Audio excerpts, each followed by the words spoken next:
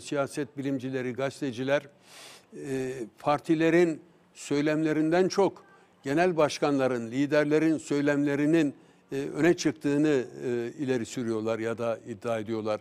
Yani yatsınacak, göz ardı edilecek e, bir düşünce değil. Dediğiniz gibi daha çok gündelik sorunlar, güncel sorunlar e, üzerinde siyasetler yapılıyor. Güncel sorunlar üzerinde ittifaklar e, kuruluyor. Aslında ittifak bizim için çok yeni yani 2018'de ittifak sürecine girdik ama dünya genelinde Avrupa'da başka yerlerde e, özellikle İtalya'da e, bu arada Zeytin Ağacı İttifakı'nda anayım. E, ittifaklar çok geçerli bir siyaset yapma tekniği biçimiydi.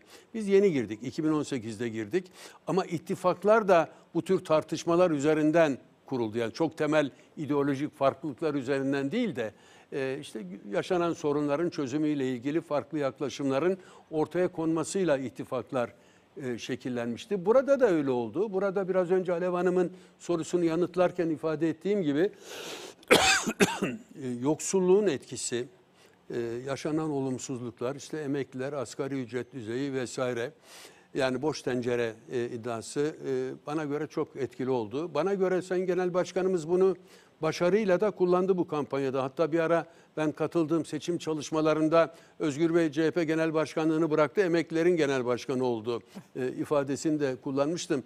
E, beni dinleyen emeklilerin de çok hoşuna gitmişti. Gerçekten e, Özgür Bey e, bu kampanya döneminde bu konuyu çok iyi işledi. Bu ve buna benzer konuları çok iyi işledi.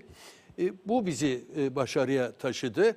Yani bana göre 77 ile bu dönem e, e, arasında temel farklılık bu. Belki Benzerlik de olabilir. Yani 77'de, e, 73'ten başlayarak 72'de e, bizim tarihi genel başkanımız, e, büyük genel başkanımız İsmet Paşa çok genç bir siyasetçi tarafından değiştirildi, devrildi demeyeyim, değiştirildi diyeyim. Burada da genç bir arkadaşımız partimizin genel başkanlığına seçildi. Ben Türkiye'de bunun bir umut yarattığını düşünüyorum.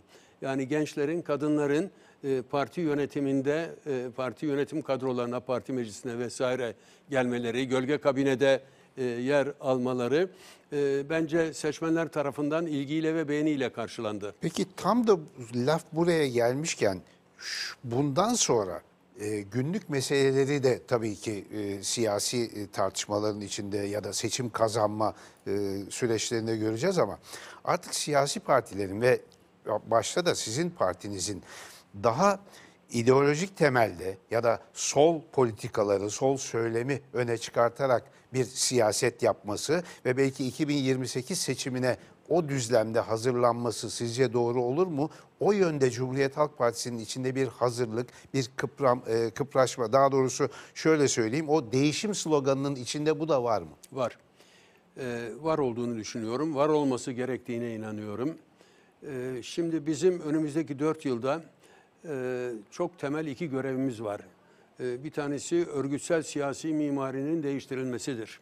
Evet büyük bir başarı var ama biz bu örgütsel mimariyle, bu siyasi mimariyle devam edemeyiz.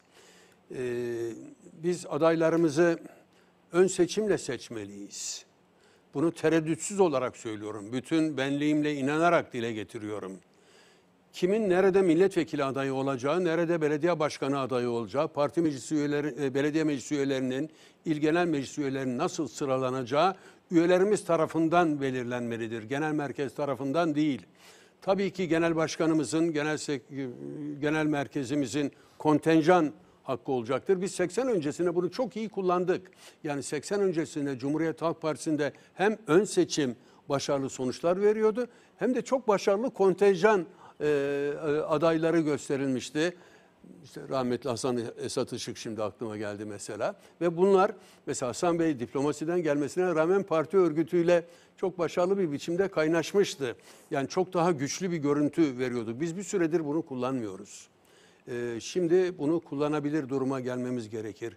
Bunu kullanmazken kullanılan gerekçe, e, ya örgüt yapısını biliyorsunuz, işte üye yapısını biliyorsunuz gerekçesiydi. Bu söyleniyordu, dile getiriliyordu. Ne kastediliyordu bunlar? Yani e, yani üyelerimizin işte birileri tarafından kaydedildiği, yani tam bir e, delege ağlı. E, delege bildiğimiz işte delegelik e, şeyleri falan. Yani E, O zaman sorun buysa bu değiştirilmeliydi. Yani bu gerekçe göstererek ön seçim yapmamak yerine e, bunun iyileştirilmesi sağlanmalıydı. Şimdi bu dönemde biz bunu yapacağız. Yani bizim birinci işimiz bu. Yani partide aslında tüm siyasi partilerde oluşuyor oligarşi. Bir oligarşik yapılanma oluyor. Oligarşinin tunç yasası denilen bir grup genel merkez yöneticisi sıfatlarını saymaya gerek yok ama genel merkez yöneticisi delegeden başlayan, düz üyeden başlayan delegasyon yetkisiyle partinin egemenliğini ellerinde tutuyorlar. Bir partide egemenliğin elde tutulması da iki şekilde oluyor bana göre e, Zafer Bey. Bir, partinin izleyeceği siyasetin belirlenmesi. İkincisi de adayların belirlenmesi. E ikisinde genel merkez bey. Bu oligarşik bir yapılanma. Buna son vermeliyiz. Yani yapısal bir biçimde biz bunu çözmeliyiz. Yetki genel merkezle e, yerel örgütlerimiz arasında yeniden bir paylaşıma tabi tutulmalı. Seçimden sonra e, birkaç kez e, Mayıs seçimini kastediyorum. Bu konu gündeme geldi. Bazı arkadaşlarımız evet gerçekten doğru söylüyorsunuz. Genel başkanın çok yetkisi var. Gelin genel başkanın karşısına